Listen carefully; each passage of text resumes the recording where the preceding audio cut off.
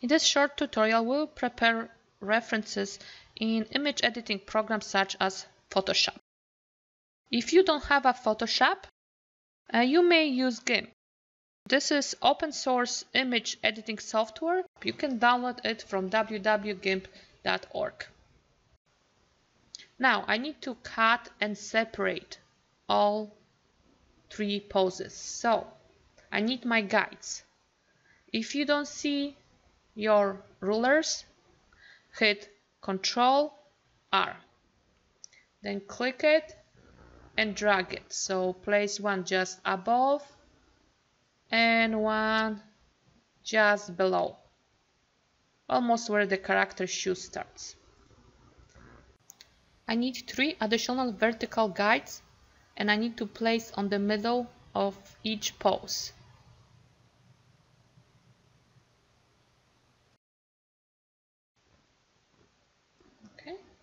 So one for front view, one for side view, and one for back view.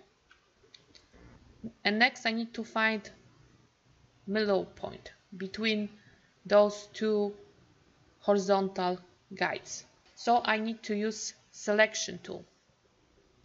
I select the space between those two horizontal guides. And then I go back and I drag another one. And this one should snap at the middle point.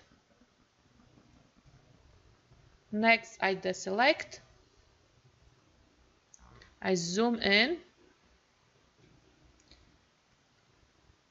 I click selection tool again, find the middle point when those two guides crossing, hit Alt and drag. So I can select the whole character and let it go. Then I go to image, crop and go file, save as, chibi front and I save this as JPEG. And click. And save. Click OK. Next I need to undo. So I use control alt Z. I need to keep all images the same. So what I do I click on the middle shift and I drag to next one and snap. Let the shift go.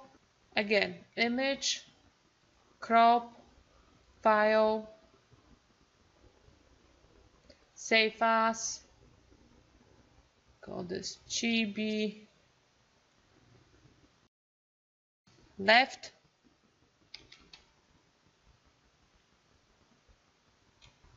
save.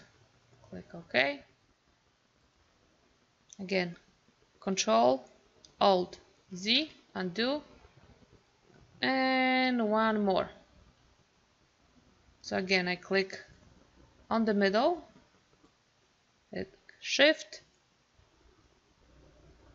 and move it to the last pose. Again, let the Shift button go,